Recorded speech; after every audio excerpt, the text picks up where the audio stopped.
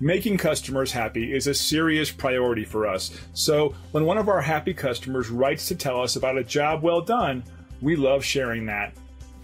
We highly recommend Dr. Ahmed. We have been taking our older daughter here since she was one.